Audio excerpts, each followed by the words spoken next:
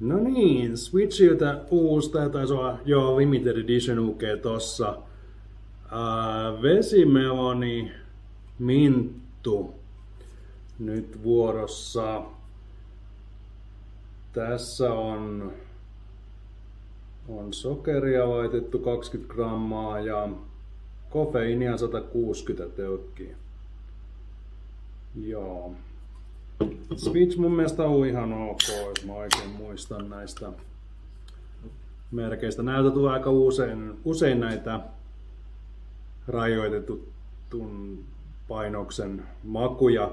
Tämä on aika edullinen 12 rändiä, eli semmonen 70 senttiä, se voisi olla ehkä, tai 60. No vesimeloni kieltämättä nenässä